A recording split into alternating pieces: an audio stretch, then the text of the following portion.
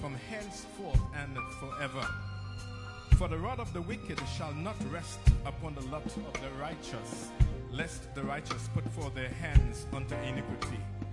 Do good, O God, unto those that be good, and to them that are upright in heart. As for such as turn aside unto their crooked ways, the Lord shall lead them forth as the workers of iniquity. But peace be upon Israel. Let us lift our hearts to God in prayer this time. Lord, we thank you for another day. Many saw the sunset yesterday but did not see the sunrise this morning. And Lord, we thank you that you have kept us, O God. You have given us another opportunity to, to worship and to praise and to lift up your holy name. And so, God, we invite your presence here that you touch down with power. We thank you for those in Bowie, Maryland who have joined us, oh God. We thank you for those who are on Zoom right now, looking upon us, oh God, and joining us virtually, coming together, as it were, in a place where God is present. We pray that you're going to bless us as we gather here. We pray that you'll bless, oh God, not only those of us who are here, but Lord, we, we walk in the footsteps of those who are in Afghanistan, going through a difficult time. We look at the, the pandemic at this time, oh God, and how it's still ravaging in certain states. We pray, oh God, that you're going to bless. We pray for those who have economic problems, and Lord, we know that tomorrow the federal pandemic, pandemic unemployment benefit will be lifted, and some people will not get that money again. But God, we pray that you'll be a source of their supply, that you're going to bless them. We ask you, Lord, to bless those who have suffered damages from the floods and those who have lost loved ones because of the floods that hit us. Lord, we pray that you're going to bless your people, Lord, as we look to you. Even right now, Lord, we pray that you're going to bless our community. We are in the midst of the Labor Day weekend, and we know this is a time when sometimes people use the gun to settle disputes and to settle revenge issues. But we pray that your spirit of peace, oh God, will fall upon your people, that the calm will be upon us. Lord, even right now, there's a hurricane Larry that's churning in the Atlantic. We pray, Lord, that you're going to let your power and your spirit control even the elements. You can still the storms. You can open doors. You can move mountains. You can break yokes. You can demolish strongholds. So we call upon you, oh God. And we pray today that you're going to lift us in your presence. We thank you that this is communion Sunday and that we can gather here to celebrate the Lord's Supper, Lord, and come together to remember Calvary and what he did for us. So we pray that you touch down. We lift our senior pastor, Dr. Charles Galbraith, and his family, even here in, in, in Brooklyn, New York, and over there in Bowie, Maryland. That you'll bless him, bless his family, bless his wife and his children specifically, and bless all the other members of the immediate and extended family. And we pray that you're going to bless us here as a family, united together at the foot of the cross, joined together in the body of Christ. We thank you that you, you can cement us with the Holy Spirit and you can let us loose so we can live the life and show the world what it means to be a Christian. So be with us today. Touch them with power, touch them with healing. Meet our every need, oh God. Meet us, Lord, where we where we are hurting, oh God. Those who have suffered loss of loved ones for, during, during the, this period of the coronavirus. We pray specifically, God, that you're gonna come close to them. So Lord, we put our whole weight upon you because you are the source of every supply and you can meet us at every point of need. So bless us, Lord. Lift us as we celebrate, oh God. Let your power be released. Let your name be magnified in the name of the Father and of the Son and of the Holy Spirit. In Jesus' name. Let everybody say, and say it again.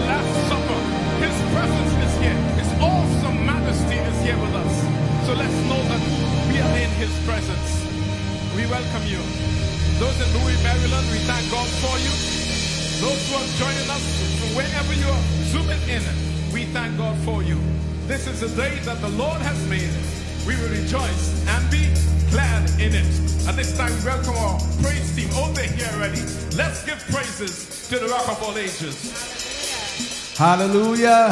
Come on, can I hear you shout hallelujah in this place? Come on, put your hands together with us.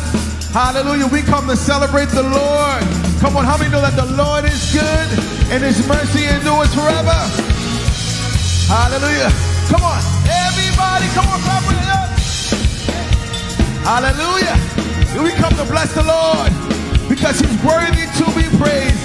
David said, I will bless the Lord at all times, and his praises shall continually be in my mouth. Come on, can we bless him this morning?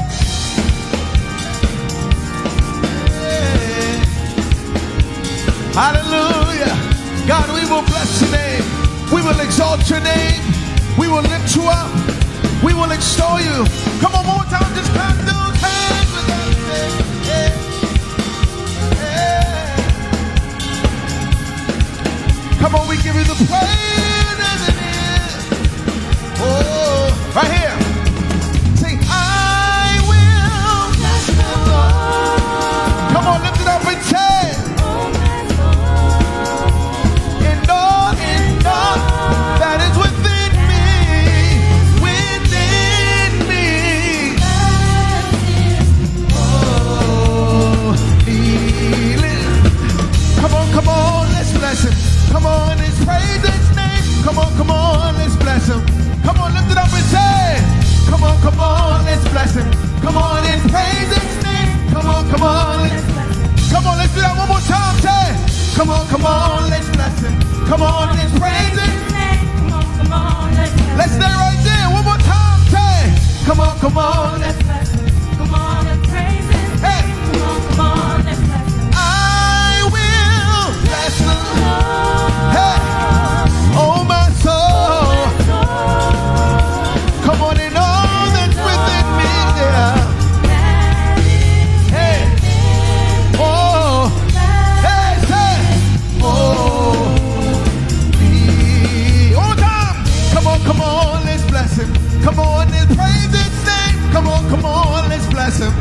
on, you got it out there. Shout it out. Come on, come on, let's bless.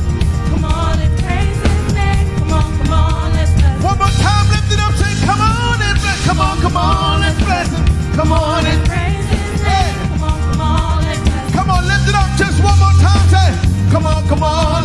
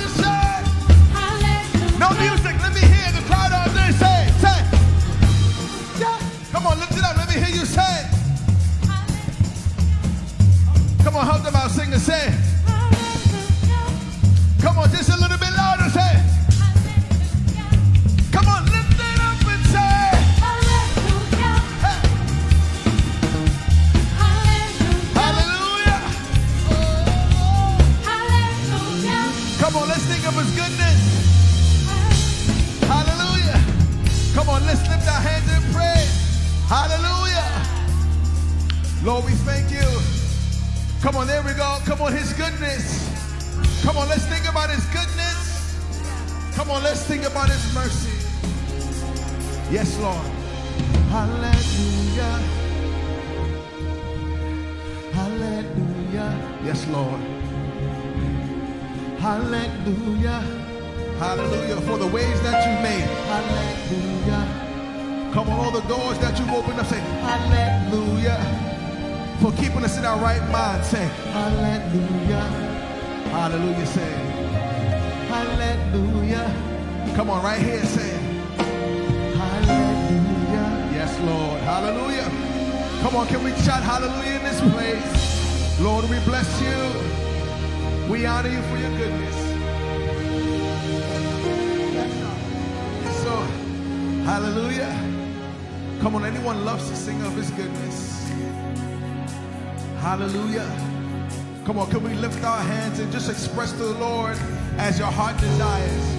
Come on, if he's been good to you.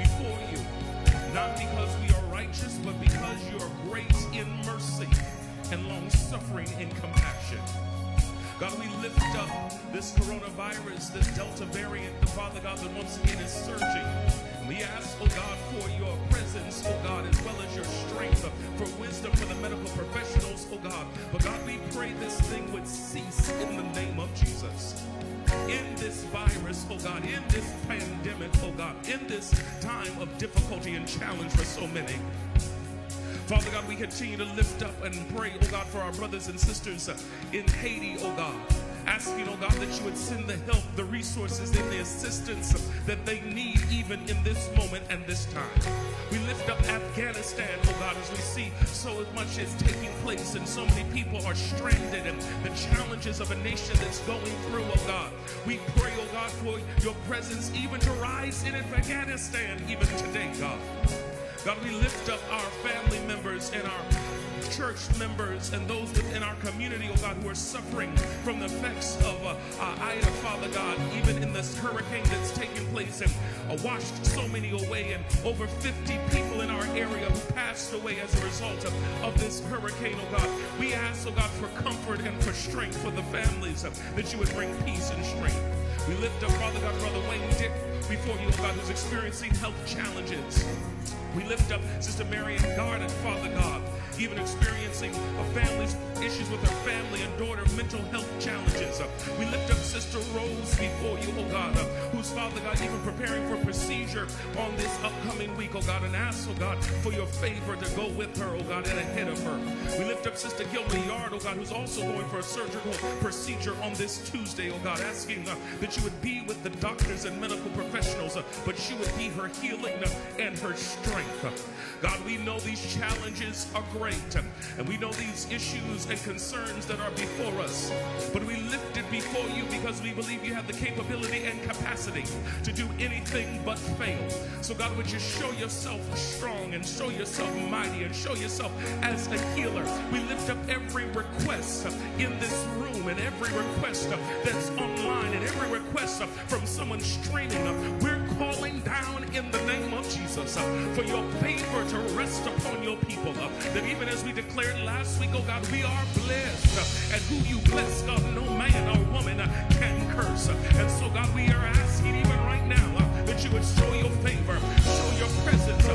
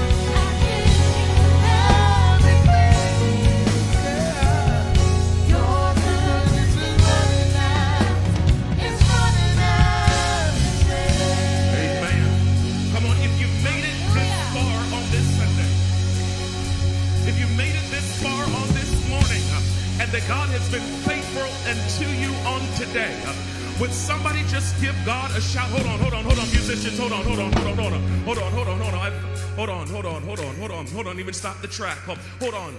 Uh, this is uh, uh, the ninth month of the year. And I always like the first Sunday on the ninth month of the year uh, because it's during this weekend we celebrate Labor Day. And, it's interesting uh, because uh, it takes nine months uh, for something to be birthed. But something's not birthed unless you go through some labor.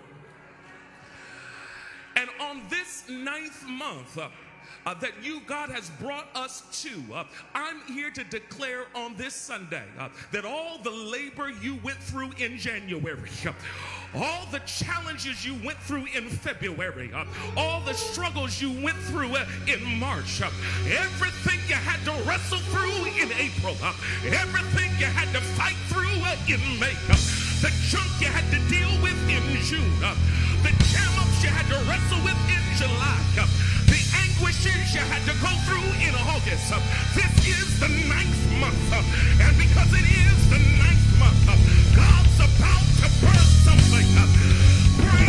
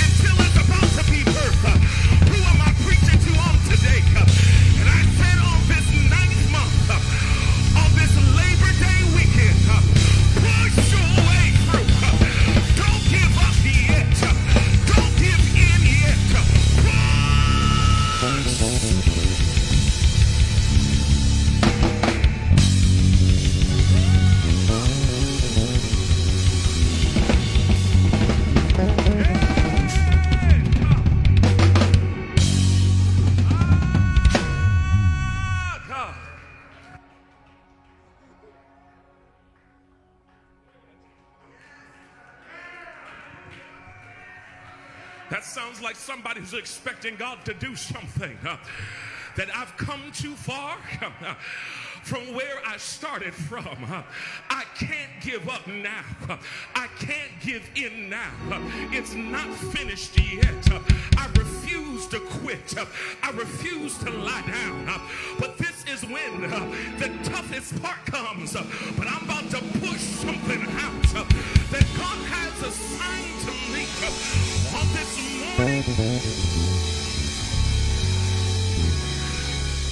What does that look like, Pastor? Uh, I'm glad you asked. It looks like though he slay me, yet will I trust him. What does it look like, Pastor?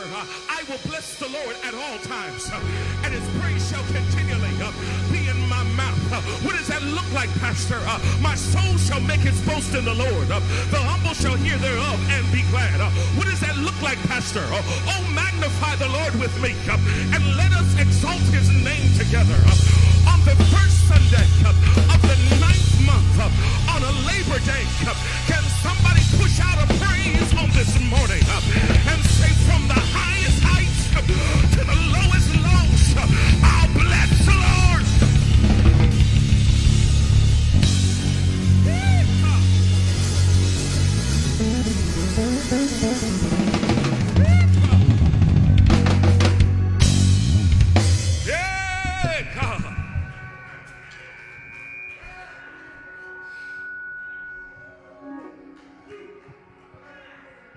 Quick, come on, real quick. The song we used to lift up and sing says, Praise Him. Praise Praise Him. Praise good first Sunday song. Praise Worship come Him. on, are. Come on. Hey. Jesus. Come on, bless it. Blessed Savior. He's worthy. He's worthy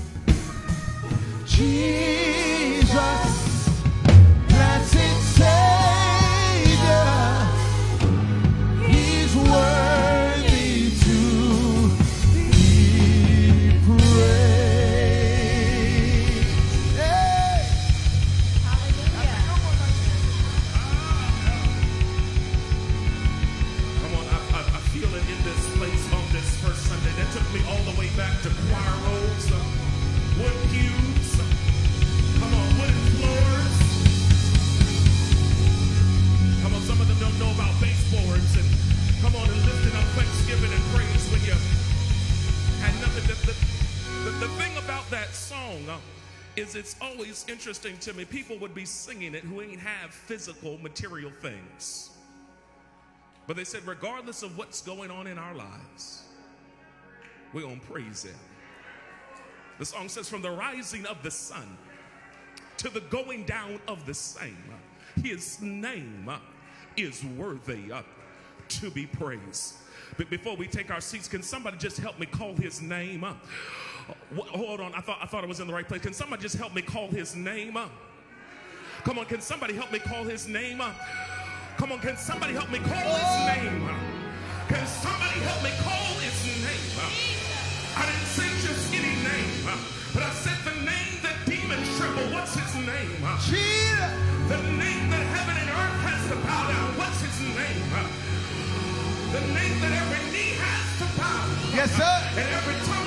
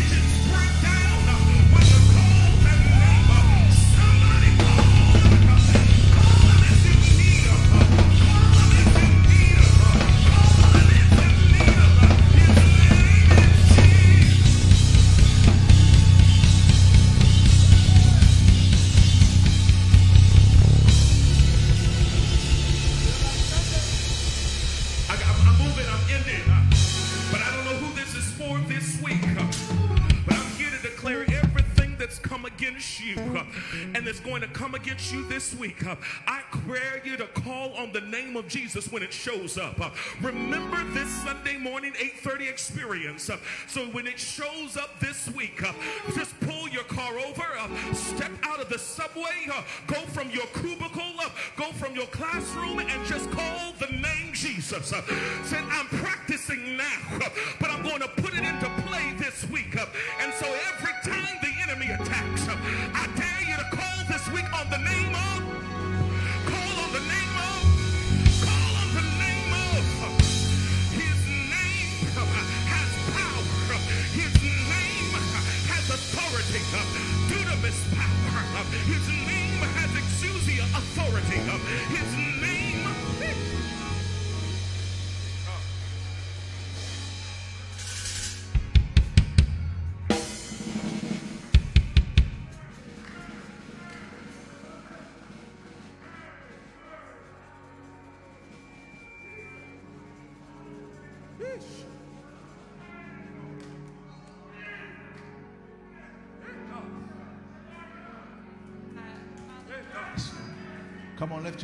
this place. Let's worship the name of Jesus.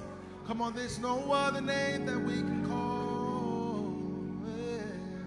I love you, Jesus. I worship and adore you. Just want to tell you, Lord, I love you more than anything. Yes, Come on, say it. I love you, Jesus.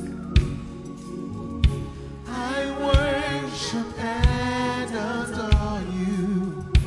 Just want to tell you, say, Lord, I love you. Come on, anyone love him this morning?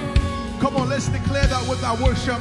Let's declare that with our mouths. Come on, lift your voice and shout and sing, I love you, Jesus. I love you, Jesus.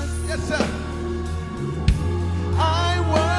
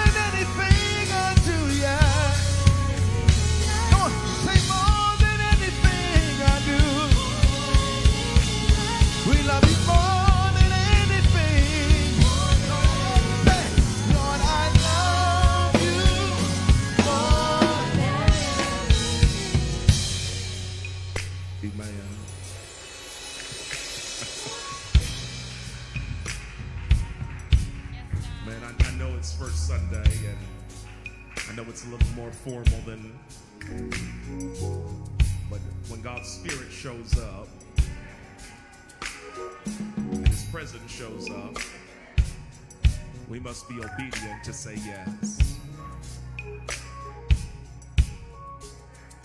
And is anybody saying, listen, there's something about that name, Jesus, and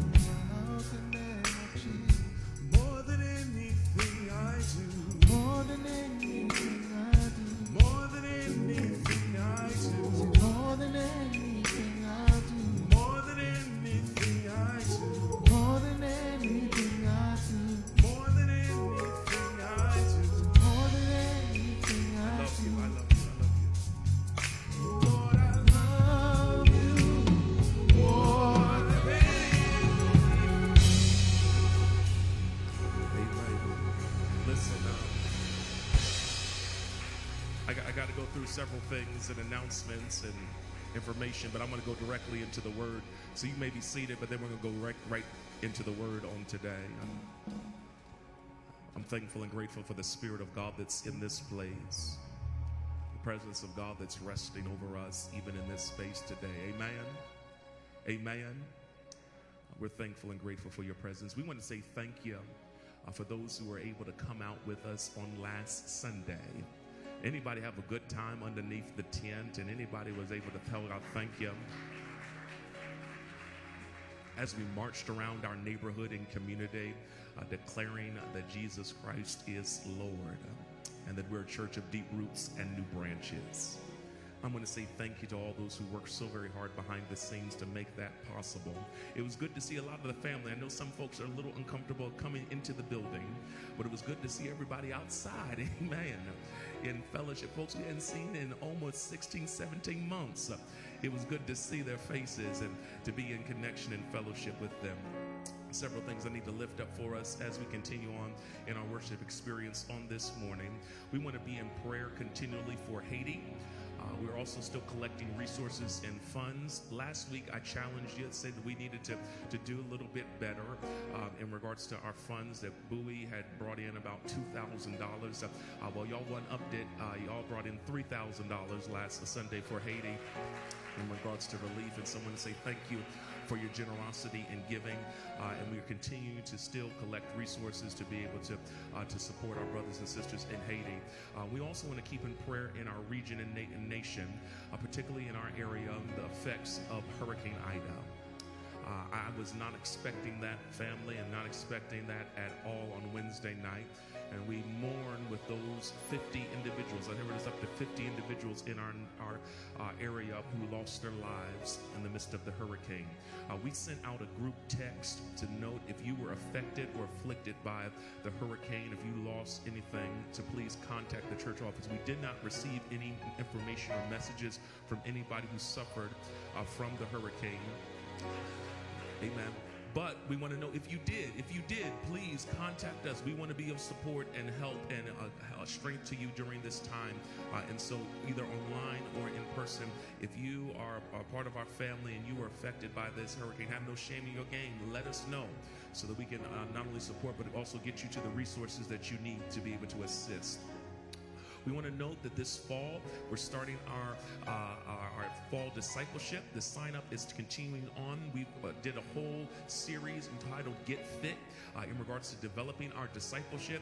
Uh, our discipleship uh, classes and engagement begins on September 22nd. So you have a few more weeks, few more weeks to sign up. If you have not signed up, please sign up today. There's QR codes, there's sign ups uh, and, and available as you exit out for this. instead of Wednesday night, there will be no Wednesday night Bible study. There will be no Wednesday night Bible study. It will be replaced with our discipleship groups. And so uh, make sure that you are part of a group. Uh, in regards to uh, our work that's going on. It's going to be running from September 22nd to December 15th at 7 p.m. on Wednesdays. At 7 p.m. on Wednesdays via Zoom, online via Zoom. Uh, there will be teaching and then breakout groups for small group development and discipleship. Amen.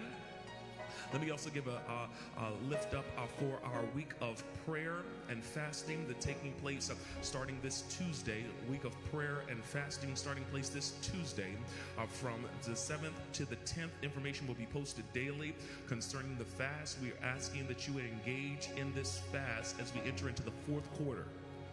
This is the fourth quarter of the year. Amen. Just September, October, November, and December. That's it. And we're, we're saying this this ninth month and this Labor Day, we're going to push it. Amen. We're going to push it. Uh, and so we need to center ourselves in prayer as well as in fasting. Prayer and fasting. Uh, that's this week. Somebody say this week. All this week, we're asking, we're, we're going to give you off Labor Day so y'all can cook out, y'all can barbecue, y'all, can enjoy, enjoy. But then on Tuesday, Tuesday uh, through uh, Friday, we will be in prayer and fasting. Just a quick reminder what is fasting? I know we do a teaching on it every year, but just a reminder for those who may just be streaming on or just tuned in or just came in for the first time. Uh, fasting is different from dieting.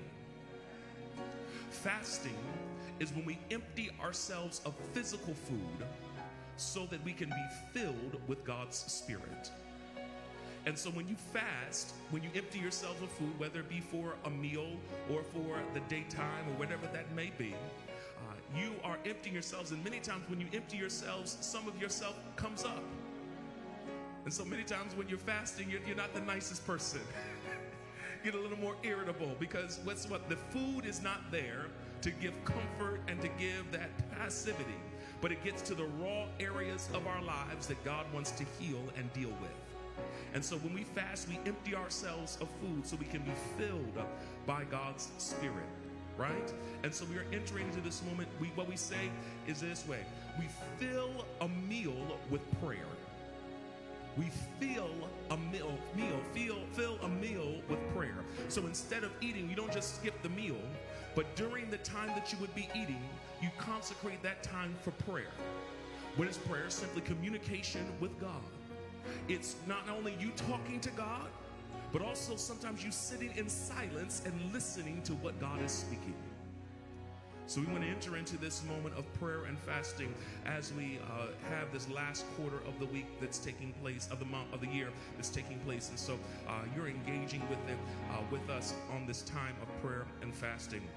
We want to let you know uh, that while we were outside, somebody came to me uh, last week and was saying, Listen, Pastor, we need to do this every Sunday. I said, Man, y'all don't know the work that goes behind the scenes to make, make this happen every Sunday on the outside. But, but, we will be outside again in September uh, on September 18th. Uh, September 18th is International Sunday. I said September 18th is International Sunday. Y'all remember International Sunday? Amen. We missed it last year, but we're bringing it back. But we know because of how it is, it's going to be outside. Now, there are going to be some restrictions in regards to we won't be able to do all the foods that we nor- normally do. It'll have to be prepackaged foods that we are taking away with us, so we won't be able to do all the different things that we normally do. But we will be celebrating the various nations and countries that are represented within our community. I think we're up to 26 different nations and countries that are represented within our church community, and so we want to celebrate what God is doing in the midst of that. We want you to bring out all of uh, your outfits, all of your culture. Please note that there will be uh, there will be order concerning it. You will have a representative from your country. Uh, uh, who needs to be a part of this. So if you uh, want to get connected with us, please know that there will be a meeting taking place on Zoom on September 8th. uh, September 8th at 7 p.m. It'll be in your emails as well as your information to note that your country is represented and who's going to be representing it. You're going to be sharing. We're going to have different activities and dance and all the different things that go into celebrating who we are. There will be food. It'll just be uh, it, uh, packaged in a different way and displayed in a different way. But anybody ready for International Sunday? So that's two weeks away. Two weeks away already. Amen. Uh, for International Sunday as we celebrate what God is doing. We also want to lift up and celebrate our Clarendon Church Alliance Women, the Women's uh, Fellowship Day in person and live stream. Uh, that is going to be on Saturday, uh, September 25th. Uh, Saturday, September 25th from 11 a.m. to 2 p.m. Please note that there is a lot of things going on. You will need to pre register. Uh, I believe you'll get a link in regards to your email concerning how you can pre register. There will be a luncheon in the fellowship hall. There will be a book signing from our very own Sister Andrea Adams. Uh, there will be a wonderful time for our women uh, to be in fellowship and connection together. Uh, once again, it's been a while since we gathered in person in regards to our women. We will do it in a safe uh, way, but we want to engage in that in our Women's Fellowship Day on September 25th. Amen. Amen. Amen. We want to also encourage the men. We saw them; they were out yesterday uh, with the young men in regards to the mentoring, um, uh, mentoring that was taking place, and our young men mentoring uh, uh, that was taking place yesterday. And uh, uh, it was a wonderful time as they were on that Zoom call in connection. We don't want to embarrass her, but we want to tell God thank you for one of our very own on the pastoral staff. Amen. Who went through a process this week that was grueling and challenging, but she has brought herself through. Uh, uh, in our denomination, there's a processing of licensing as well as accrediting uh, for ministry, uh, and we're thankful and grateful for our very own minister, Judy Pilgrim, who passed her accreditation with the Christian and Missionary Alliance uh, this past week. Amen. Come on, somebody ought to celebrate and tell God thank you for Minister Judy who passed her accreditation with the Alliance. Uh, and so we're so very so thankful and grateful for her, for those who've been raised up in this house and who we are raising up in this house uh, to go out uh, and to share the good news of Jesus Christ. Amen. Amen, amen, and amen. I, I don't believe I'm forgetting anything. If I am, charge it to my mind and not to my heart. My time is far spent. It's first Sunday. We like to normally go right, right in uh, uh, with different things with, with that. But if you could stand to your feet all over this place, we're going to be in John, the, the 14th chapter. I'm beginning a new series this Sunday entitled Homecoming.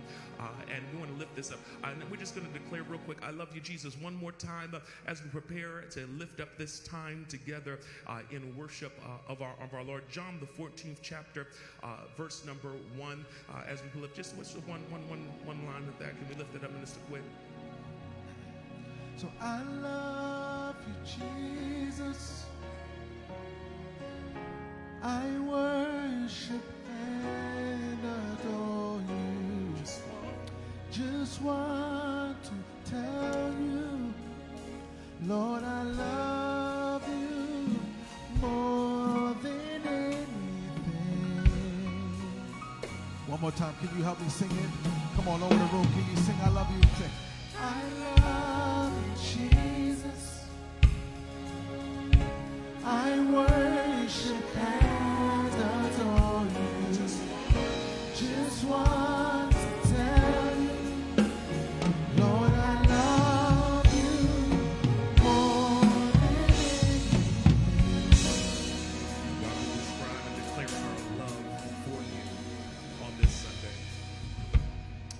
14th chapter, verse number one, and it declares it this way Let not your hearts be troubled. You believe in God, believe also in me. In my Father's house there are many mansions. If it were not so, I would have to- told you. If I would not told you so, would I have told you where I'm going there to prepare a place for you? And if I go and prepare a place for you, I will come back and take you to be with me, that you may be where I am. You know the way to the place where I'm going. Thomas said to him, Lord, we don't know where you are going. So how can we know the way? And Jesus answered, I am the way, the truth, and the life. No one comes to the Father except through me. The word of God for the people of God. Thanks be unto God on this morning. Would you pray with me, God of our weary years and God of our silent tears? God who has brought us thus far along the way. I pray that the words of my mouth and collective meditations of our hearts will be acceptable in your sight, God, our strength and our Redeemer. God, would you give us ears to hear your word, minds to comprehend, hearts to receive? And God, give us the zealousness of life, not just to hear your word, but to live it out each and every day. We'll be careful to give your name the glory, the honor, the adoration, the thanksgiving, and the praise. We ask these things now in the mighty and matchless name of Jesus Christ. We do declare the people of God who believe and trust God said, said, said, Amen and amen. Would you do me a favor before you take your seats? Would you help me place the tag and title on this particular text and series and tell your neighbor who's near you or next to you, neighbor, oh neighbor, I'm going home. Okay, would you find another neighbor and tell him, neighbor, oh neighbor, uh, I'm going home. Find one other neighbor, one other neighbor, tell him, neighbor, oh neighbor, I'm going home. you may be seated in the sanctuary on this Sunday. I was getting a little bit of feedback up here if y'all could uh, assist me with this. We are in this sermon series, uh, beginning it entitled Homecoming. And, I, I love the fall season because it's the season, yes, of the leaves changing, and yes, of, uh, the sweater weather, and yes, of the different type of warm beverages that soothe our hearts and spirits. But, uh, but for me, I also love homecoming celebrations whether it be college or high school or other graduations or take, to take place, uh, where we come back home uh, in fellowship and remembering this place where we're gathered. There's something about home. There- there's something significant about home. It is the 1937 film The Wizard of Oz. Still having some trouble with, with, with this. And the 1937 Wizard of Oz that helps us help popularize the phrase, There's no place like home. As Dorothy clicked her heels to wake up from this journey from fantasy in Oz to the reality of Kansas, she kept on repeating over and over again that there's no place like home. But what I want to suggest that this idea of home is older than the Wizard of Oz. Uh, but rather, you can even look in 1832 uh, in the words of John Howard Payne from the opera Clara, who declares this phrase and popularizes this phrase uh, home, sweet home. Uh, ho- home family is not just a place of residence. Uh, it's not as the dictionary defines a place where you live permanently. Uh, home is a place of origin. I- I- it's a place of comfort. There- there's something about even that phrase, home cooking.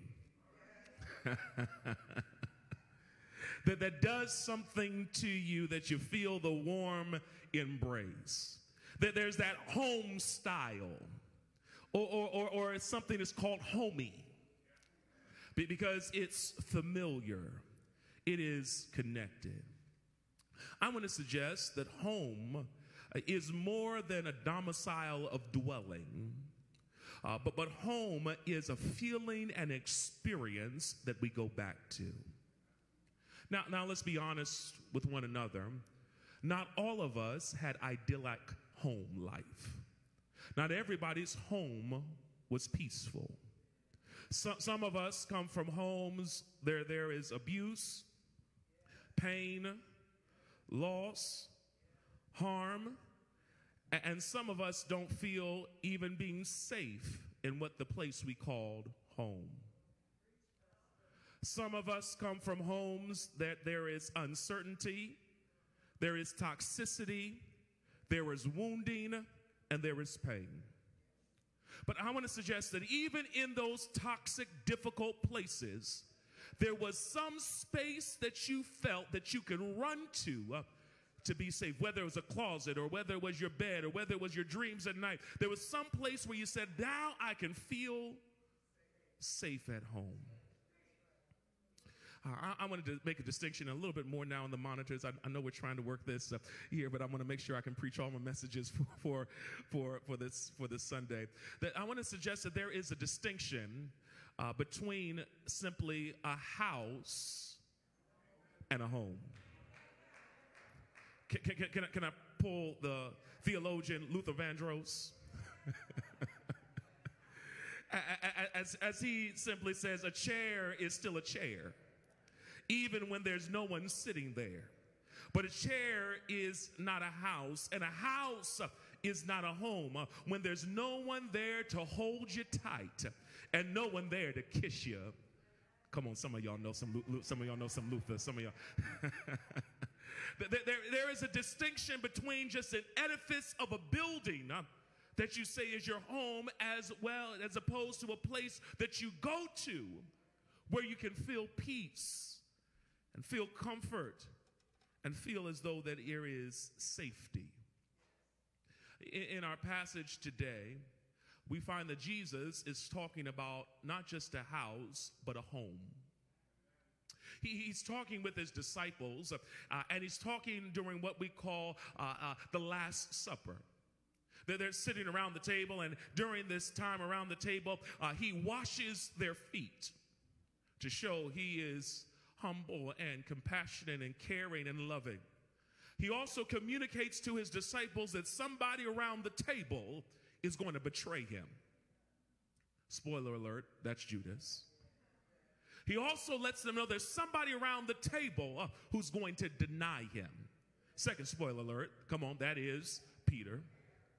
But, but as Jesus is letting them know this, he's also preparing them because he's letting them know that I'm about to leave you. Uh, that, that, that I'm going to exit and you're going to go through some challenges and difficult places. But he also encourages them to let them know, even though you are dislocated, even though you'll be in this liminal space, uh, that there is a place called home. that you can go to. And I want to encourage somebody who's even streaming in. Uh, if you're streaming, could you share this? Could you let us know? Somebody else know? I want to encourage somebody who's sitting in the physical sanctuary, some somebody who's gathering here with us, uh, to let you know and to remind you that you have a home. If you are a believer, you are not homeless. I'll say it again. If, if you are a believer, you are not homeless. There is a place where you belong. We're entering into the time where many of our college students have already gone back to college, and many of our students are preparing to go back to school next week, and we'll have a special prayer for them. Uh, but in my studies concerning uh, educational development and what makes the best learning environment for youth and young people, it is Sharon Dozel uh, in her book who suggests that there is something significant when we see young people who are successful in college and those who have challenges in college. They, they, said the distinction is this. She is a, a college chaplain who has served in many colleges in many different places. And she suggests, as the title of her book argues, is that there needs to be a sense of belonging for young people to find their place and to grow successfully within their collegiate endeavors. I, I want to suggest uh, uh, that when you have a place where you say, I belong here, it encourages you, even when you are not there, to be encouraged that I've got a place to go back to. I, I want to argue that there's something about home.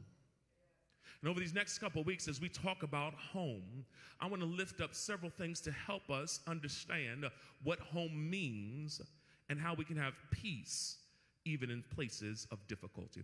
The first thing I want to talk about home is this. Uh, what you need to know about home is here it is. Home is a place, home is a place uh, where trouble has to take a time out. Uh, trouble has to take a time out. Here it is, number one, uh, verse number number one of uh, uh of John, the 14th chapter. It says, "Let not your hearts be troubled. You believe in God, believe also in me. In my Father's house there are many rooms or mansions." Here it is. Here it is. Home is a place of peace and rest home, the idealized home, even though your physical home may not feel like this, even though your physical home may not sense like this, the home that I'm talking about is a home where you have peace and you've got rest. Uh, where, where, trouble has to take a time out. Where, where, where, where, you can be troubled on your job you can be troubled on the train, and I know some of you had difficult commutes even on Wednesday. You can be troubled all throughout life, but when you get to your house, you say, "Ow, I am home." Trouble is this word tarasso in the Greek. It's this idea of being afraid. Uh, of being disquieted, of being disturbed, uh, of making restless. Uh, here, I, I, like one of these definitions for trouble. Uh, this idea of trouble is to cause inward commotion. That you're just always something going on, to perplex the mind. Uh, but, but there's something significant when you get home and trouble has to stop. I, I, was traveling this week back and forth uh, uh, to different places, and I had to go to my parents' house in Maryland. Shout out to our Maryland family. And as I was in Maryland, I'm always reminded whenever I get to my house in Maryland, whenever I get to, to my mama's house, uh, I always feel that nudging urge to go lay down. Uh, I, I, I, don't have to don't need to be doing anything or anything else, but as soon as I get to my mama's house, I feel the need to go lay down, to take a nap, to take a rest. I remember we used to travel back and forth down there, and, we would end up trying to do so many different things, but end up sleeping the entire time. Why? It's because that's a place of, of peace. That's a place where all the troubles and challenges that are around me can come off of me and I can be at rest. Is there anybody in here who say, I've got to protect my peace, I'm going home? that the trouble has to take a time out sometimes within my life. That some of us have been bullied and pushed all week long. And after the weeks that we have and the days that we experience, we get to our house and we say, I gotta go lay down. Here it is. Here it is. Here it is. There's something about peace. Later on in John, the 14th chapter, later on in verse number 27, Jesus says, Peace I leave with you. Uh, my peace I give to you. Uh, I do not give to you as the world gives. Uh, do not let your hearts be troubled and do not be afraid. When you are home, you can go to a place where trouble has to put a time out. Okay, let me put it this way. Uh, uh, my, my son was celebrating his birthday a couple weeks ago, but he still, he just got back here to the New York area, so he had a birthday celebration with his friends from school. And they were playing uh, uh, one of their games they'd like to play. They had these little Nerf guns, uh, uh, and, and they were playing one of their games, Fortnite. Uh, and, and, and I got into it. I ain't gonna lie to you. I got into it myself because I said, I'm, I wanted to play. And so I, I was playing with all these 10, 10 and 11 year olds and shooting these little Nerf guns, running up and, running up, running up and down like, a, like a little kid. And, and, the interesting thing, there's some things that when you are growing up is the same way it is here. Uh, while we were playing and while we were shooting and while we were running around, uh, uh, there, there's something called base. Uh, that, that, when you run and get to base, uh, you're safe. Uh, that, that's how it was when I was growing up, and it's the same way even today. And so they, they would be going and run, and all you had to do is you had to make sure you could make it back to base, and you would be all right.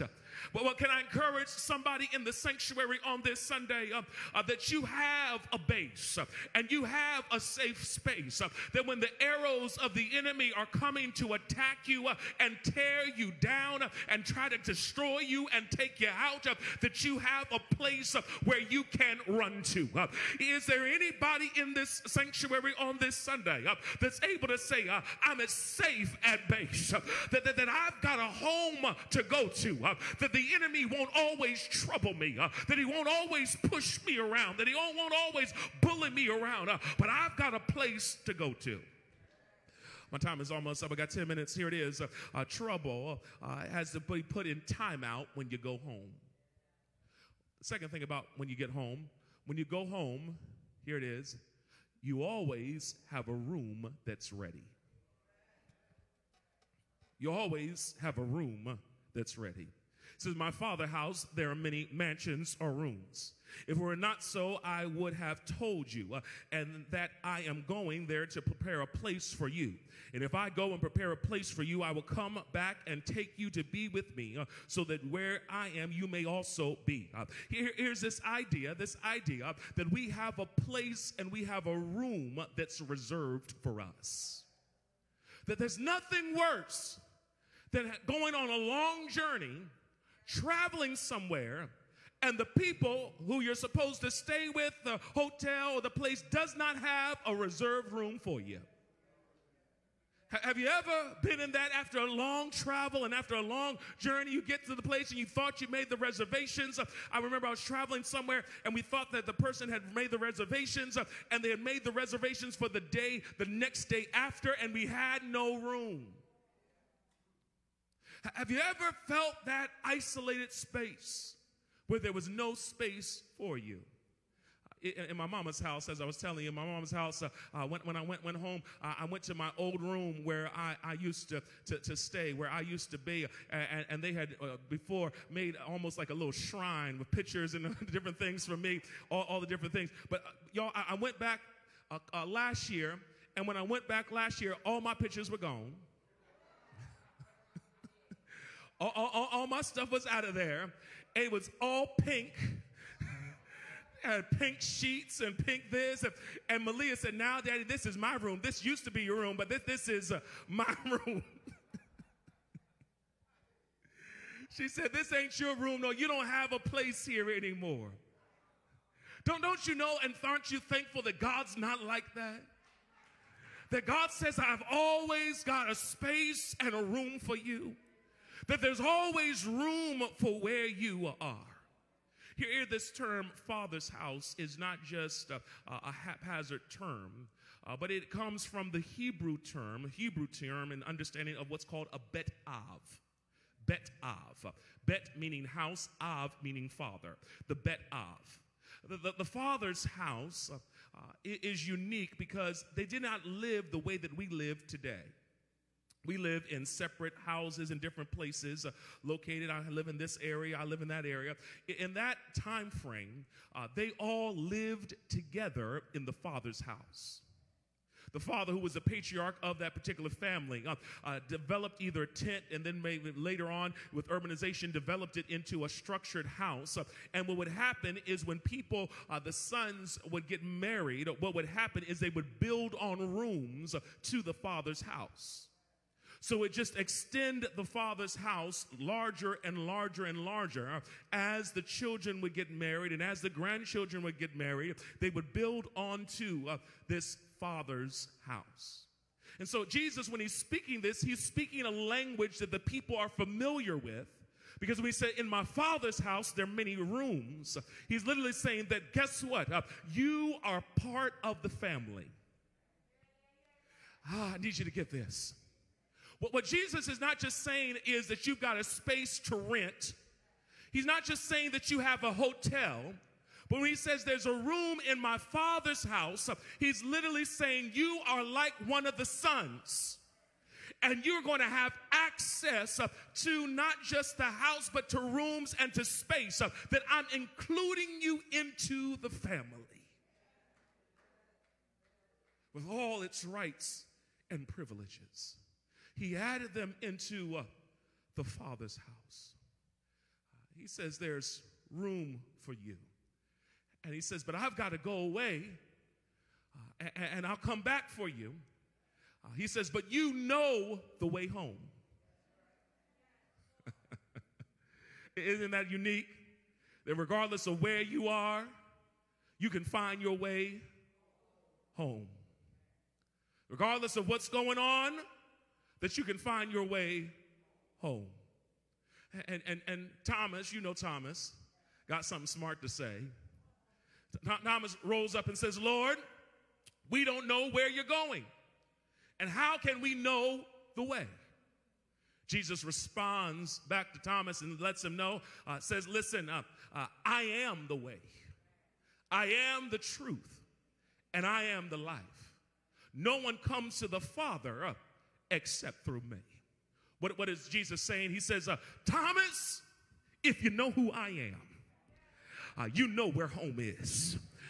Well, I need somebody to catch this and get this on this morning. Uh, that what Jesus is saying to Thomas, he's also saying to us uh, that if you know Jesus, uh, uh, you know the way home.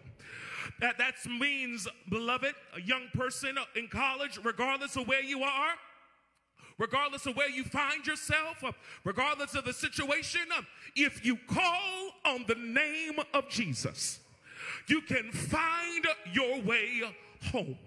I, don't know who I'm preaching and speaking to in this place on today, uh, but has anybody ever been on the job and the pressure's been so much and the tension's been so difficult and the challenges have been so real and all you could do is say, how am I going to make it out of this? I'm glad you asked. Call on the name of Jesus uh, and you can find your way uh, home. Uh, somebody's wrestling in their mind mentally. Uh, they're trying to put things together, uh, trying to understand what's going on and what's taking place. Uh, if you call on the name of Jesus, you can find your way home. Why is that? Because Jesus said, I am the way, and I am the truth, and I am the life. Is there anybody in here on the first Sunday in September uh, that's not afraid to say, I know my way home? Uh, How do you know your way home? Because I know who Jesus is. Uh, Does anybody know him in this place? Uh, Does anybody say, I can call on him uh, and he will answer? Uh, I'll call on him in the midnight hour. Some of you know this, that you may not have remembered much, but if you remember anything, you remember that when you get in trouble, to call on the name of Jesus and he'll meet you right where you are. Hold on. I got three minutes. Here it is. Uh, trouble, when we're on our way home, trouble is put in timeout. Uh, when we're on our way home, we have a room that's always ready. La- Last thing, uh, when you go home, when you go home, last thing uh, uh, is that you get to participate in certain privileges. Okay. Uh, uh, when you go home, uh, you go, you act differently. now, now, now, uh, if you had good home training, you know you can't just act any type of way when you're at somebody else's house. You, you got to behave. You got to you got to act right. When times we, we send our kids to certain people's houses and, and they say, oh, they were so well behaved. I say, you really don't know them. they on their best behavior. but when you get home, uh, you get certain privileges. What are the privileges? You get seconds. you, you, you, you, you get to get participate in stuff. When you're at home, you get to kick off your shoes and relax a little while. When you have home, you don't have to ask permission for certain things. You have access to everything. Okay, okay. I, am here to let you know that, that, that as believers, uh, uh, we can go home, and when we go home, we are able to participate uh, in certain privileges. I'm in the Bible. The Bible says in John, the 14th chapter, verse number 12, Very truly I tell you, Jesus speaking, whoever believes in me uh, will do the works I have been doing, uh, and they will do even greater works uh, than these, because I'm going to my Father. I, I, sometimes I think believers miss this passage uh, instead of recognizing what this passage is saying. Jesus is saying now that you, as believers, you, my disciples, uh, are going to do even greater things than me. He says, Because I'm going to the Father. Uh, but because I'm going to the Father, I'm empowering you uh, to do uh, what I've done. Uh, well, I'm here to encourage the believers and the people of God uh, that if you have the presence of God living inside of you, uh, God is calling on you for even greater things. that, that there is a season and a time for greater in your life. that you have to be allergic to ordinary, average, and unoriginal. but rather, you have to enter into a place uh, where you're saying, if God is for me, uh, who can be uh, against me? That if God is working in me, uh, regardless of the things that are around me, uh, I know that God is calling for greater, that God is positioning and placing me uh, in spaces and places for Him to do a greater work in me. It's not for me to brag, it's not for me to be boastful, but it's for Him to get His glory. Jesus entered into moments with healing. Uh, I believe in healing for today. Uh, Jesus spoke those things that are not uh, as though they would be. Uh, that's called prophecy. I believe uh, in the gifts of the prophet. Uh, I believe that God can do whatever God wants to do in and through his people. Is there anybody in this sanctuary on this Sunday that's able to say, I'm expecting greater? I'm believing God for greater. I'm trusting God for greater. Greater, greater, greater greater, greater, greater, uh, greater in my life, uh, greater in my family, uh, greater in my church, uh, greater in the things of the world. Uh, God's going to do it uh, not because I'm so great, but because He's so great. and the Bible says that not only did He say, Greater things will I do, but He also says in this same passage in John the 14th chapter, in verse number 13, uh, and I will do whatever you ask in my name, uh, so the Father may be glorified uh, in the Son. You may ask of me for anything in my name, and I will do it. What are you trying to say, Pastor? When you get home, you get access to everything. Is there anybody in here on this morning that's able to say, God, I'm going to ask you for some stuff, but I know you're faithful to give it not because I'm worthy of it, but because you are at your home. I'm at the house. I'm at home. And because I'm at home and I'm at the house, I got access uh, to things. Uh, I got access uh, to asking uh, you to do exceedingly uh, and abundantly uh, above all I can ask, think, or imagine. Uh, is there anybody in this place on this morning uh, that said, I'm going to ask and I'm going to believe? Healing is the children's bread. I'm going to ask and I'm going to believe that He'll supply all my needs according to His riches and glory. I'm going to ask and I'm going to believe that there's going to be breakthrough in my life. I'm going to ask uh, and I'm going to believe uh, miracles, signs, and wonders. Uh, I'm going to ask uh, and I'm going to believe that everything that's dead, He's going to raise up. I'm going to ask, I'm going to trust, and I'm going to believe that God's able to do it. Uh, there anybody in here who said, I'm going home? And because I'm going home, I got access to everything I need. If that's you in this place, would you lift up your hands and say, I got access to everything I need? Call on the name of Jesus, and He will answer. Uh, Call on the name of Jesus, and He will answer prayer. Somebody call on His name. If you believe Him on this Sunday, won't you lift up your voice and say, God, I need you to move. I need you to heal. I need you to deliver. I need you to make ways. I need you to open up doors. I need you to show yourself mighty. But because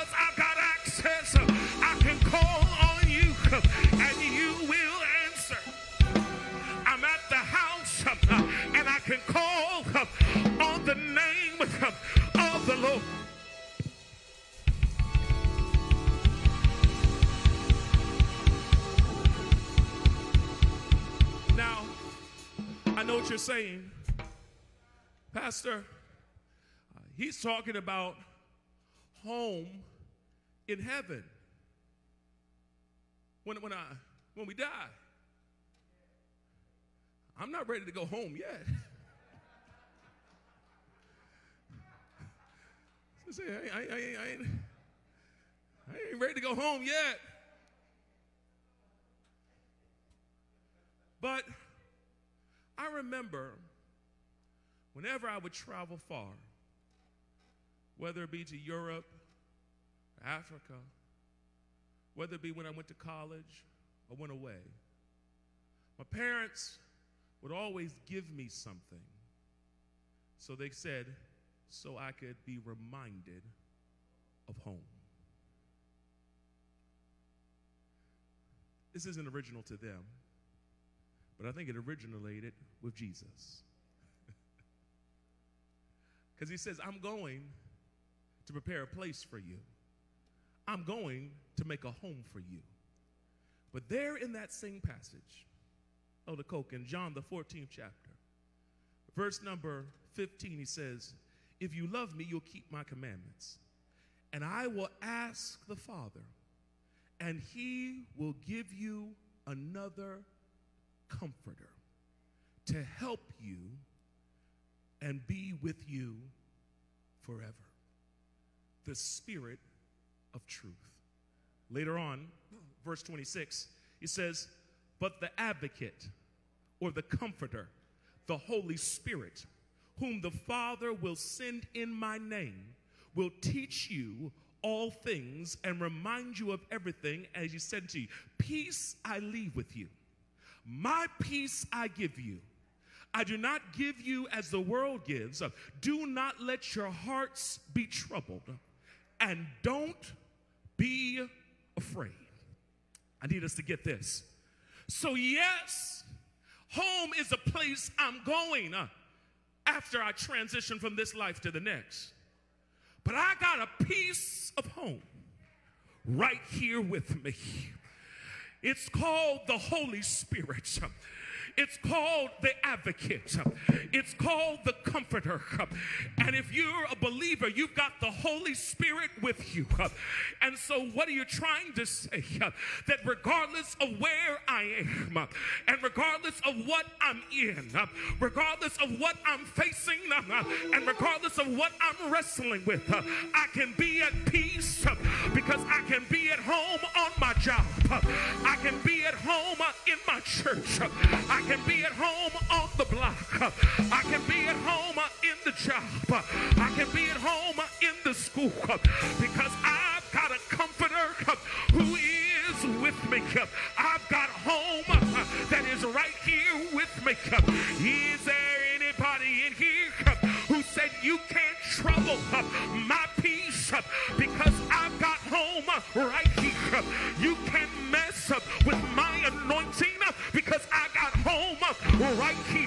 Come as you will, come as you may, but I got my home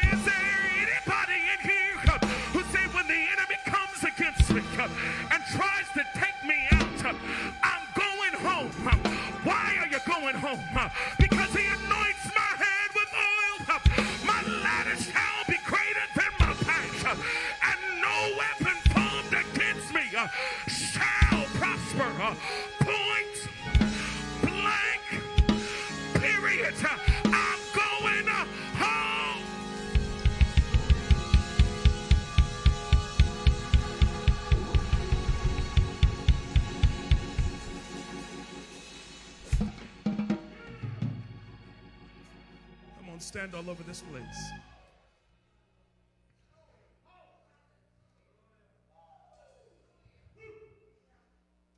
I'm going home. A place where trouble has to take a time out. I'm going home.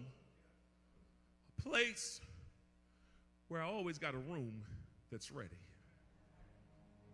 I'm going home, place where I'm able to partake of all the privileges that have been given unto me. I'm looking at folks who are operating in greater. In this last four months of this year,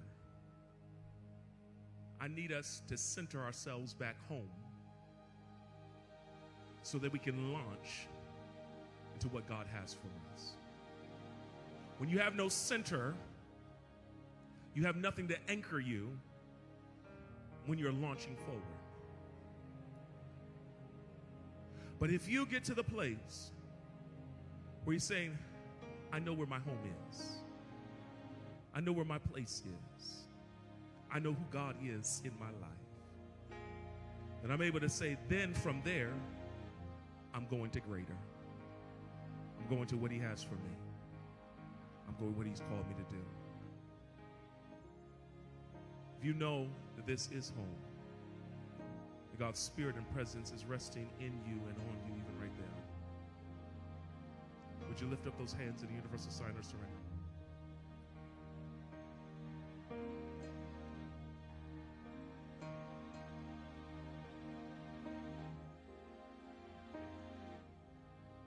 Father, we thank you that you are with us and you're for us.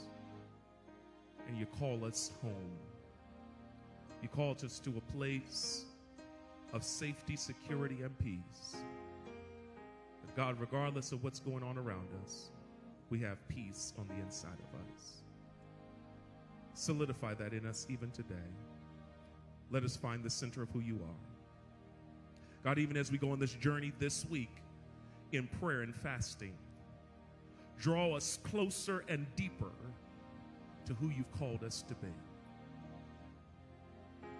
We want to go home. We want to be in the place of safety and security. Solidify that in us even today. We lift this up before you in the name of the Father and of the Son and of the Holy Spirit. In Jesus' name, amen. Amen. His heads are bowed and eyes are closed, even this place. There may be somebody who does not know what home looks like because you may have had a difficult home. You may not know where home is because you don't know the one who can take you home. His name is Jesus. So, whether in person or streaming online, if you want to know Jesus as your Lord and Savior, if you want to say yes to Him, heads about eyes are closed, would you simply indicate by sending us a message online or just lifting up a hand in the physical sanctuary? We want to pray for and with you concerning this, that Jesus would move within your heart and you would say yes to him. I see that hand. Is there another? Is there, I see that hand. It's another one to say yes to him. To Jesus be the Son. Come on, is there another? Just lift up the hand and bring it down. Yes, yes.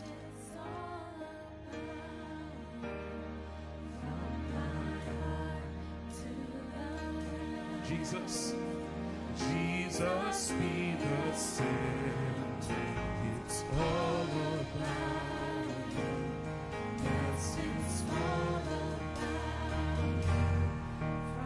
If you lifted a hand and you wanted to say yes to Jesus, there's others who are around you to pray with you. But I'd ask you to pray with me, simply saying, Father, I admit that I'm a sinner. I haven't always followed your ways, but I'm asking that you would forgive me. I believe that your son, Jesus Christ, died for my sins, was buried, but on the third day rose again. Because he rose, I can rise again. Come into my heart, Jesus, and make me over. I make this confession with my mouth, but I'll live it with my life forevermore. In Jesus' name, in Jesus' name, in Jesus' name, amen and amen. If you prayed that prayer, there are those who are there to minister and walk you through the process of discipleship. There's also, if you're online, you can fill out those forms to walk you through this process of knowing and understanding who God is in and concerning your life. Amen. Amen. Can somebody put their hands together because somebody found their way home? I said, can somebody put those hands together because somebody found their way home? Come on, come on. Can, can you simply say, welcome home? Can somebody simply say, welcome home? Can somebody simply say, welcome home?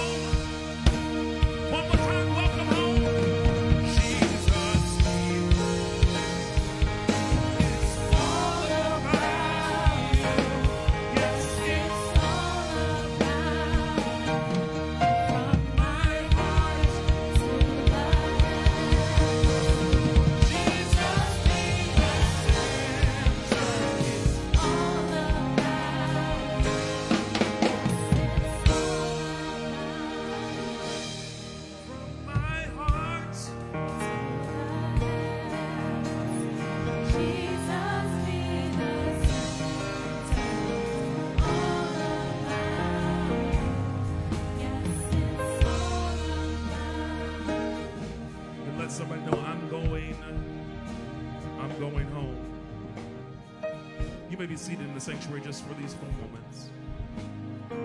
Let's prepare to go home. We, we're thankful and grateful for what Christ has done in and through our lives. for the giving of his life for us. We remember and recognize this in the celebration of communion, the fellowship and recognition of what Christ has done. They gave his life for and concerning us.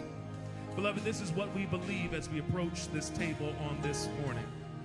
We believe in God the Father Almighty, the maker of heaven and earth.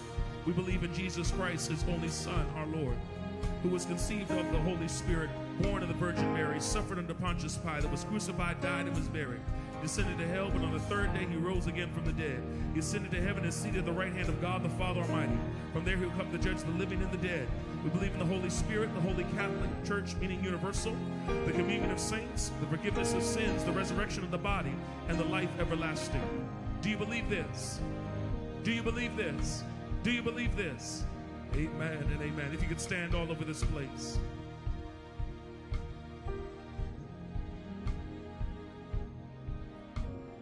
Lord Jesus, on the night in which we betrayed, took bread, and when he given thanks, he broke it and said, Take, eat, this is my body which is broken for you. Do this in remembrance of me. The same manner he took the cup after supper, saying, This cup is a new covenant in my blood. This do as often as you drink it in remembrance of me. For often as you eat this bread and drink this cup, you proclaim the Lord's death until he comes. Beloved, we declare, even as you have those elements before you, if you would take them and lift them before the Father, we consecrate these elements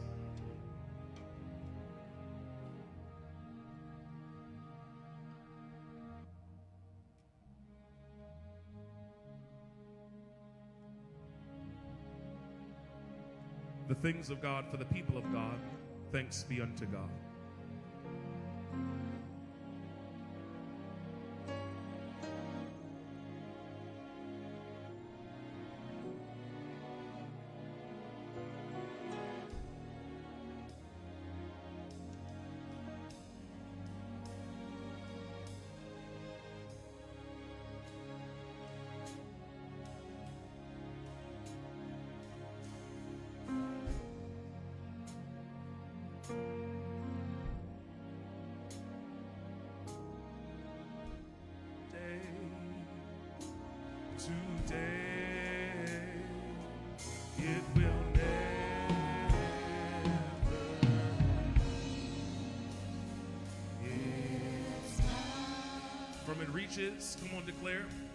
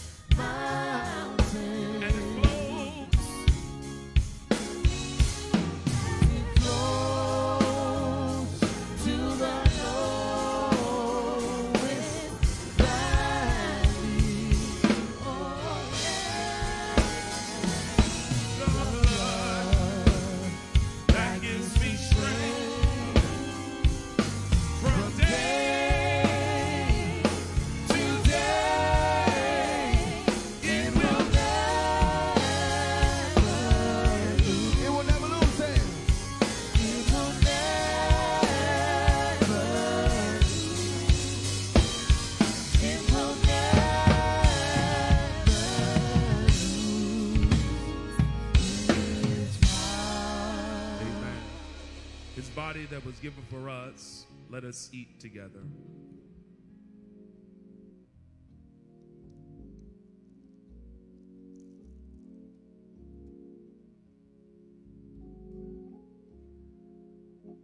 This blood that was shed for the remission of our sins, let us drink together.